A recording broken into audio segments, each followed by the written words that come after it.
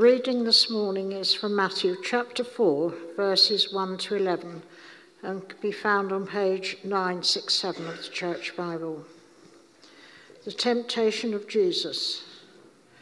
When Jesus was led by the Spirit into the desert to be tempted by the devil, after fasting for forty days and forty nights, he was hungry. The tempter came to him and said, If you are the Son of God, tell these stones to become bread. Jesus answered, It is written, Man does not live on bread alone, but on every word that comes from the mouth of God. Then the devil took him to the holy city and had him stand on the highest point of the temple. If you are the Son of God, he said, throw yourself down, for it is written, He will command His angels concerning you, and they will lift you, lift you up in their hands, so that you will not strike your foot against a stone. Jesus answered him, It is also written, Do not put the Lord your God to the test. Again, the devil took him to a very high mountain and showed him all the kingdoms of the world and their splendor. All this I will give you, he said, if you will bow down and worship me. Jesus said to him, Away from me, Satan, for it is written, Worship the Lord your God and serve him only. Then the devil left him, and the angels came and attended him. This is the word of the Lord.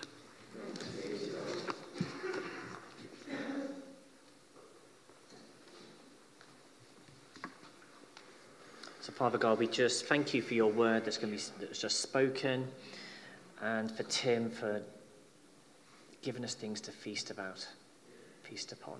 So bless him, pour out your spirit upon him, anoint that word, and ready our hearts, Lord, to receive it. Amen. Amen. Amen. Thank you. Well, I'm going to start with something a bit silly. Who thinks temptation looks like this? Or maybe it looks like this. Or maybe it looks like this. Or maybe, if it all sounds too good to be true, looks like this. of course, those are some, in some ways, silly examples, but in some ways, real examples that we face day in, day out. Those times when we have different voices saying to us, Well, go on, you know you really want to. No, you shouldn't.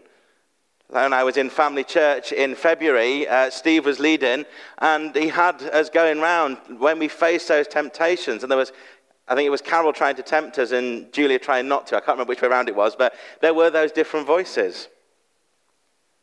I go through temptation in some ways most of the time when I think about unhealthy food. I'm terrible. At the moment, I'm trying to get back to eating according to Slimming World to shift some of this.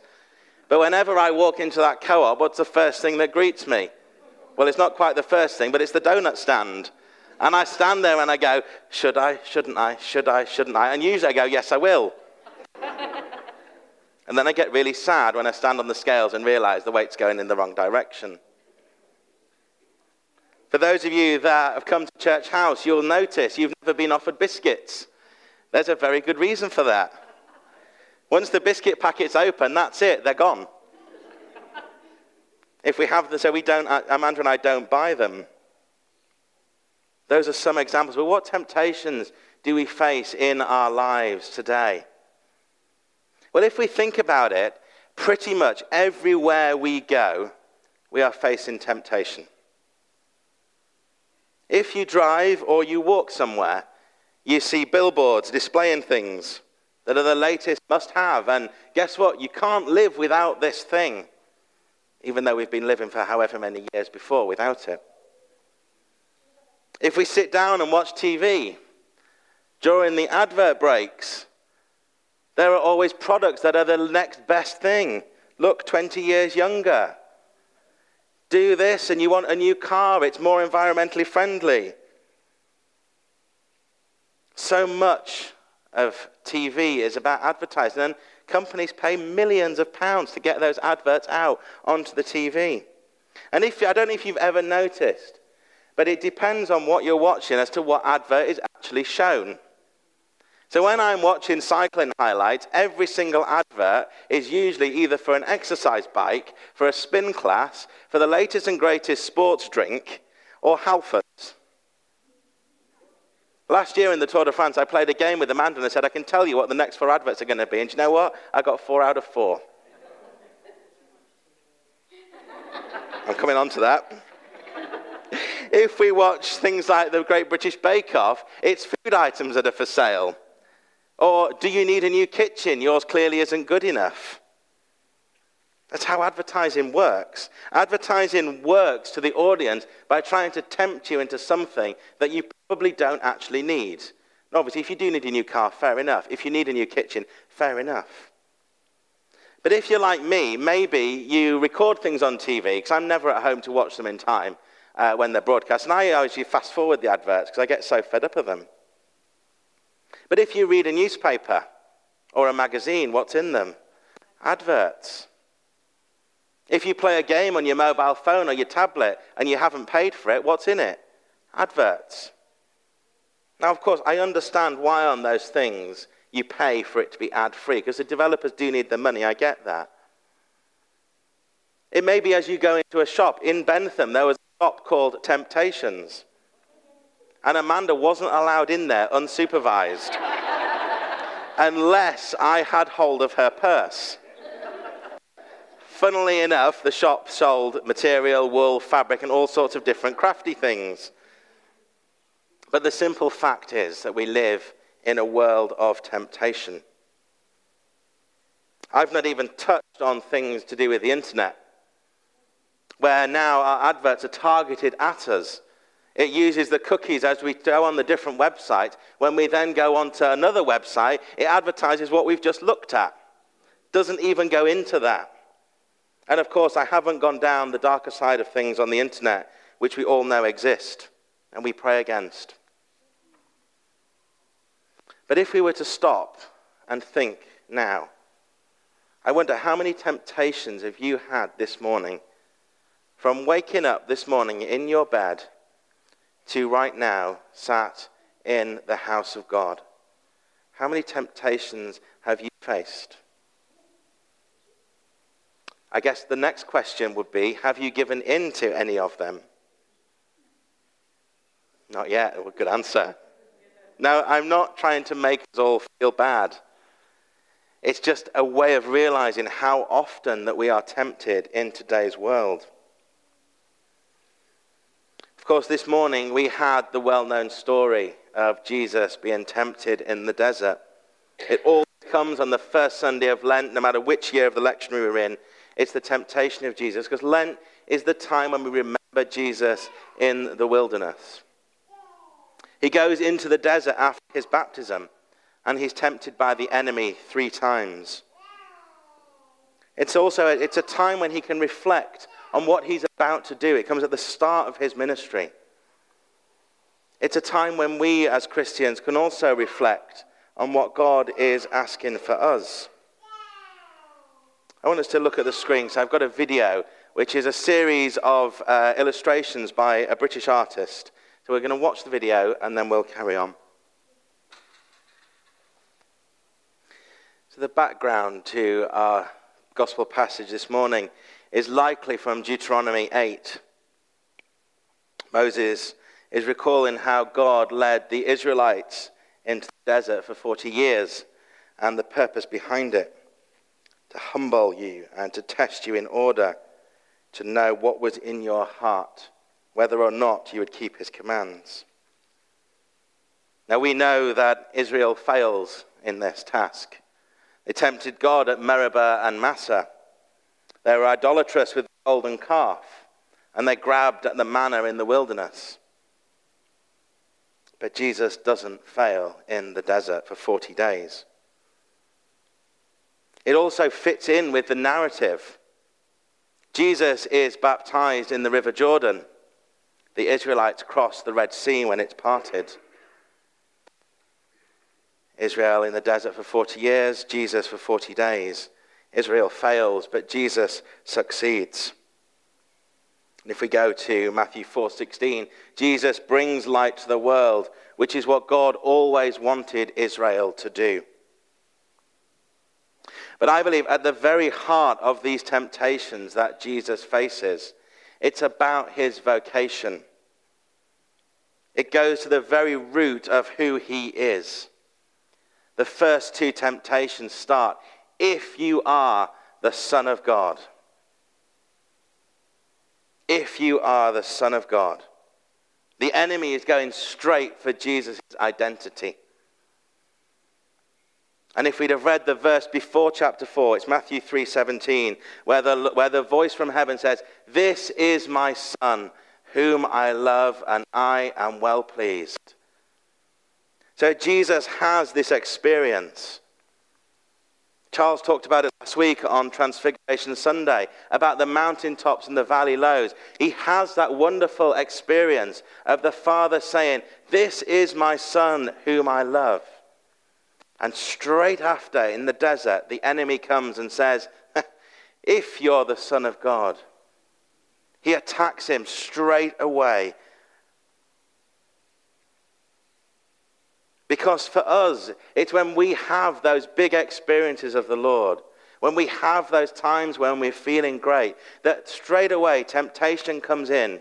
And I'm not talking about the food that I used at the start. It's temptation to do the other thing. It's temptation to not follow what the Lord has just given you. If the Lord has said to you, go and start off this wonderful ministry, Charles spoke about his last week, this ministry he started. If his, he got that word from the Lord, if the temptation straight after would likely be, well, you don't need to do that. You need to charge for that. But Charles didn't give in and he carried on. It's an example. And we have those times from the Lord where he really speaks, the enemy will come straight in and try and knock you flat on your face. When I was first sent that call to ordination, I sat for 20 minutes in front of my vicar with my jaw on the floor. And then I had doubts. You're not good enough for that. You really think you can lead a church? You can't possibly speak in public and preach the word of God. To name a few. But believe me, those three I've just shared with you, I wake up some days, even now, and still think, but I'm not good enough to lead a church. How am I supposed to stand up and preach the word of God? I'm not good enough for this. I know that those things, when they come, though, are not of the Lord. But I also know that I can't do what I do without the Lord. There is no way that I can stand up here and preach without God's Holy Spirit living in me. And in some ways, when I say those things, it's the enemy that's going to the heart of who I am, of the calling that God has placed on my life. I remember the morning of the 2nd of May last year when the bishop rang me up and invited me to take this post as vicar here. Of course, I was very kind to the bishop and warmly accepted. I hung up the phone and then thought, oh, that's the polite version. What on earth do I do now? Straight away, straight away, my identity was challenged. And those temptations that come from the enemy go much deeper than our calling. Those temptations come to try and distort what the Lord is asking us to do, our true vocation, that vocation to be truly human that vocation to be the son or daughter of the king, that vocation to be a servant to the world and to others. Well, we need to stamp out those lies straight away so they don't come back and trip us up later. We need to rebut the enemy and any lie that are over us so that that doesn't prevent us from becoming the people that God is calling to us to be. Because, friends, those of us sat here this morning, our identity is found in the Lord. Our identity is found as a child of the living God. John Stott describes the temptations that are like that, that affect our calling, that affect our identity, as spiritual muscle, as building spiritual muscle, because we know they will come. And every time we overcome them, we get that little bit stronger. But if you notice, if we go back to these questions and the temptations that Jesus faced, it's not just, Are you the Son of God? but it goes further.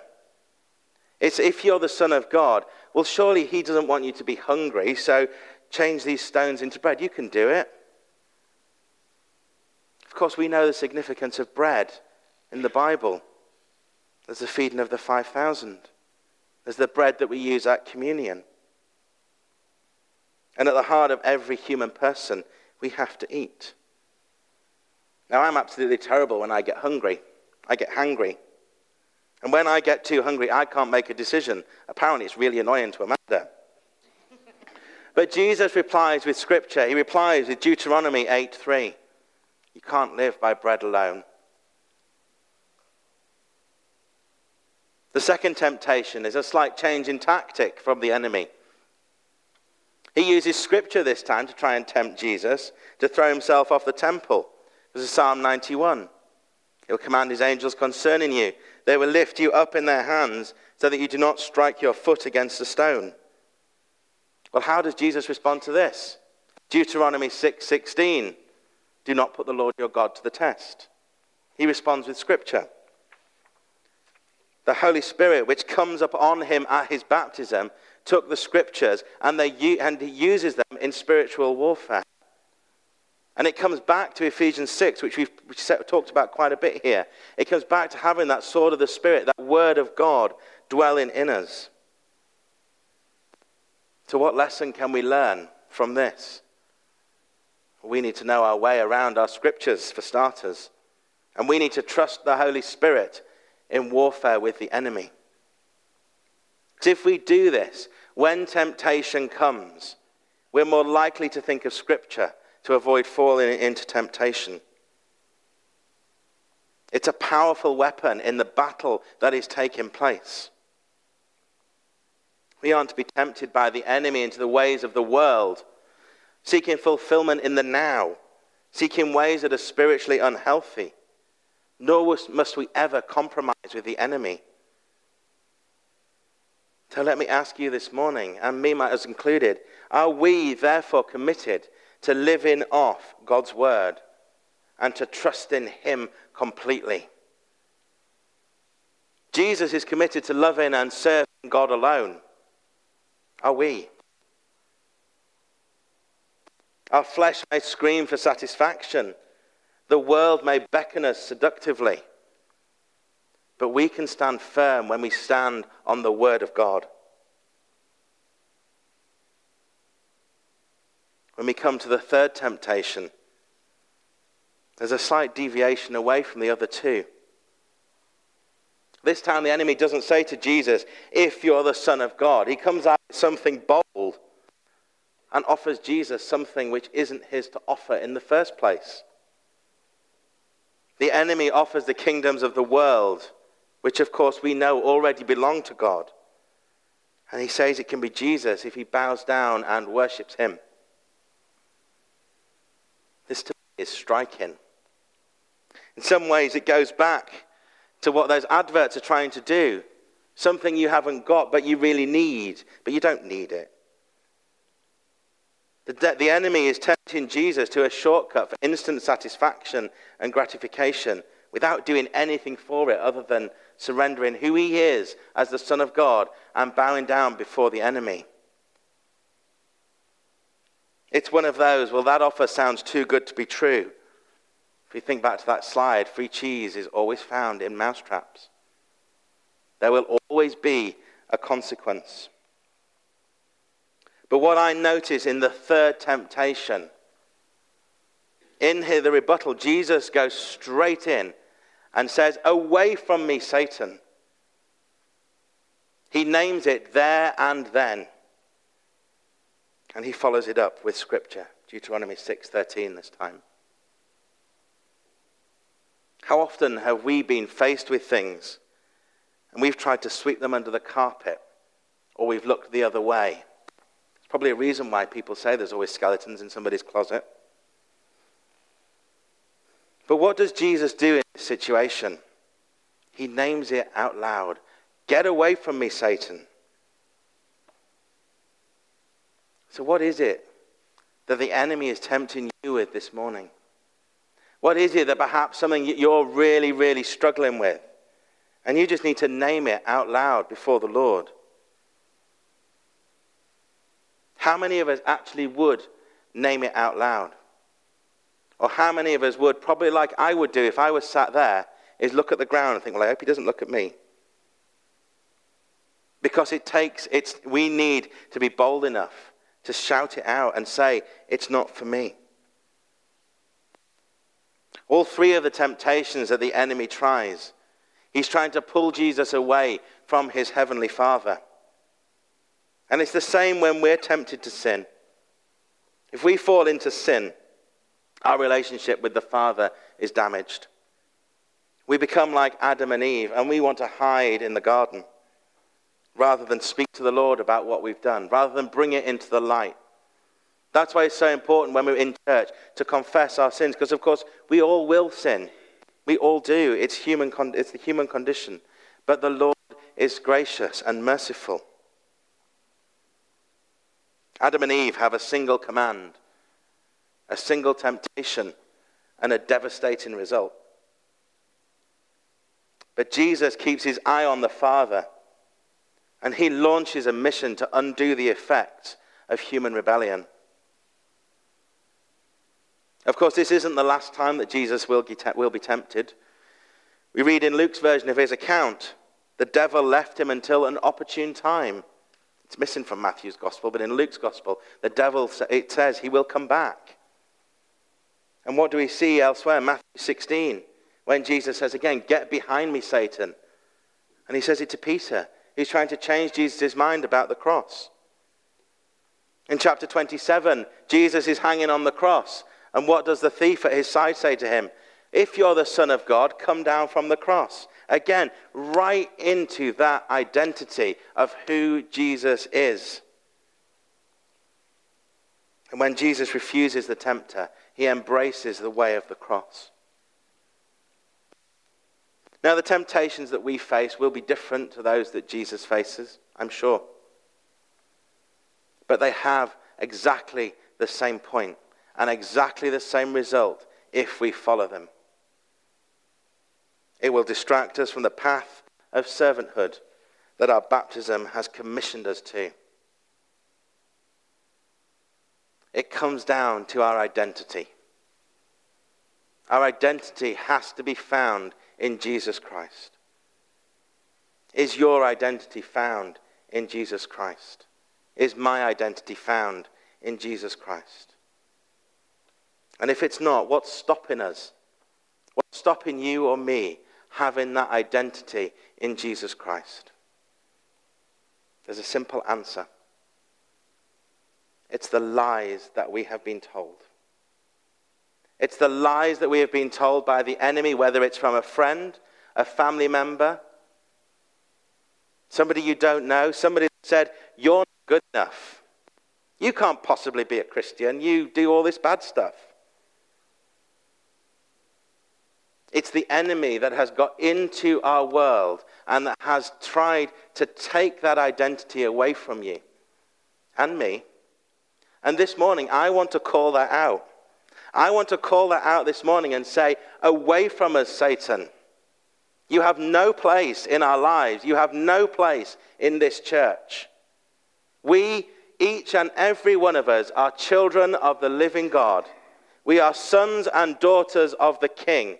And I proclaim that this morning over each and every one of us. The Lord loves each and every one of us gathered here this morning, and our brothers and sisters who can't be with us, of course. He wants the best for you and for me. He has a vocation for you and for me. He pours out his love for each of us. If God has called us to do something, he will give us the skills to do it. He will give us those skills. Don't let anybody say to you, you're not good enough. Because that's not of, the, uh, that's not of our Heavenly Father. If you have a sense that you're called to do something or you're weighing up, well, should I or and somebody says, You're not good enough, that is not from the Lord. That's when we have to stand firm and say, Away from me, Satan. Because we trust the Lord. It may well require us to take steps of faith. It will require us to take steps of faith. I had to leave my career in law before I would have got anywhere in the ordination process. That's not to say go and, oh, I've said it before here, but don't go and resign tomorrow. But it will lead us to places that we never thought possible. It will lead us to meet people who we would never normally meet. It will mean that we act differently to our colleagues because we are living as children of the Lord. So we must fully step into our identities of being children of God. Of course, there'll be times when we don't feel like it, times when we want to rest. That's fine. I'm not saying we have to do it 24 7, be out there. We have to look after ourselves in this. But the temptations of Jesus that we read go to his true identity. They try and pull him away from our Heavenly Father. So, what this morning I ask you is pulling you away from your Heavenly Father, from our Heavenly Father. And I want you to name that out this morning. I want you to name that before the Lord. I want you to say, I'm done with that. If you've been told you're not good enough, you're not worthy, you're not capable of doing what you're doing, shout it out and give it to the Lord and say, I don't want this lie over me anymore.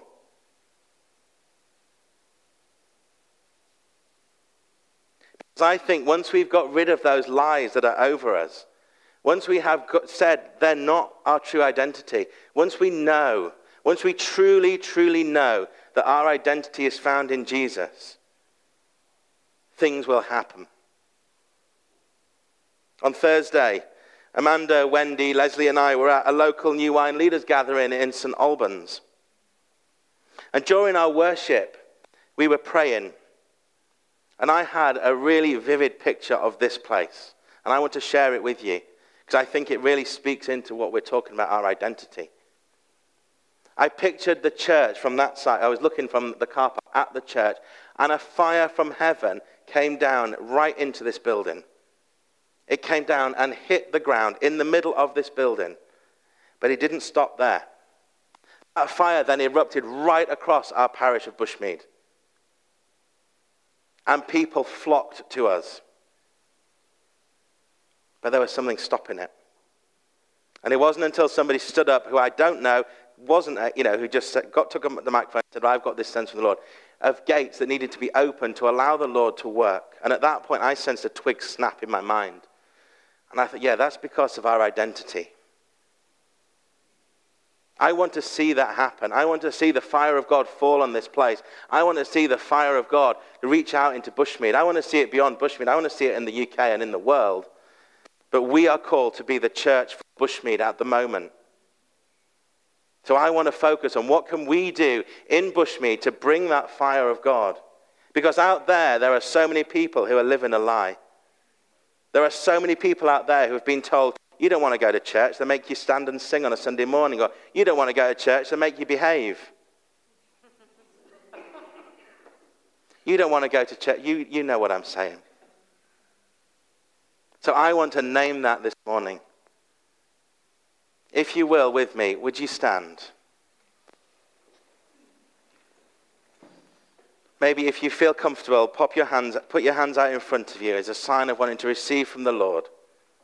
And I want you to think what lies have been told over you? What lies have been told over you that you have believed? And I want you to name them now and say, I'm done with that. Give them to Jesus. We have that same authority that Jesus has living in us through the Holy Spirit. So when Jesus says, Away from me, Satan, and he flees, we too can say, Away from me, Satan, and he will flee. So, whatever is stopping your identity in Jesus Christ this morning, I want you to name it in front of the Lord. You don't have to shout it out, do it in the silence if you want. But I want you to name that now before the Lord. And I want each and every one of you to know that you are a son and or a daughter of the king. You are a son or daughter of the Lord Most High. And as Charles said last week, we can be bold in that. We can be bold in proclaiming that. Not just to ourselves, not just to each other, but to the world. So name it before the Lord this morning, and then we're going to have a song while we continue. And if you're engaging with the Lord, I encourage you, just continue to receive. You don't have to sing, it'll be fairly quiet in the background. But do business with the Lord this morning. Give him that lie and say, No more. Get behind me, Satan. Because when we say, Get behind me, Satan, he will flee.